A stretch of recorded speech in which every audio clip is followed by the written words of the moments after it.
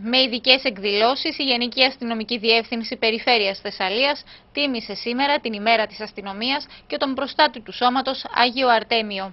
Παράλληλα, σε μια σεμνή τελετή έγιναν τα αποκαλυπτήρια του Μνημείου Πεσόντων Αστυνομικών στον προάβλιο χώρο του Αστυνομικού Μεγάρου Λάρισας, παρουσία του Περιφερειάρχη Θεσσαλίας Κώστα Αγοραστού και του Σεβασμιότατου Μετροπολίτη Λαρίσης και Τυρνάβου κ. Ιγνατίου. Το μνημείο φιλοτέχνησε ο γλύπτης Χρήστος Μαουσίδης με την ευγενική χορηγία της Ένωσης Αστυνομικών Λάρισας.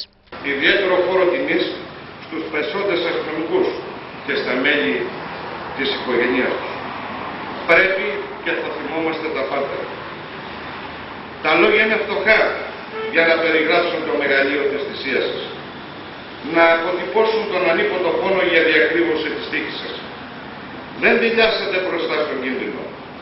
Δεν επιλέξατε την άτακτη φυγή και την εύκολη λύση. Απέναντίας προτάξατε με στένος τα στήθη σας και θέσατε υπεράνω τη ζωή σας στο δημόσιο συμφέρον.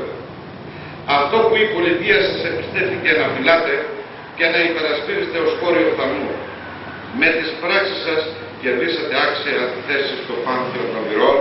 Εκφράζω ειλικρινά σε όλους τα συγχαρητήριά μας γιατί είναι γνωστό ότι κανένας δεν μπορεί να ζει με ήσυχη τη συνείδησή του όταν δεν τιμά τους νεκρούς του είτε ως άτομο είτε ως οργανωμένη κοινωνία.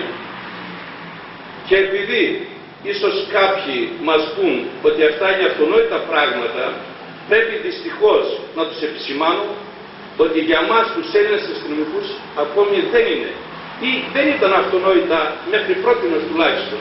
Νωρίτερα τελέστηκε επίσημη δοξολογία στον Ιερό Ναό Αποστόλων Πέτρου και Παύλου Λάρισας.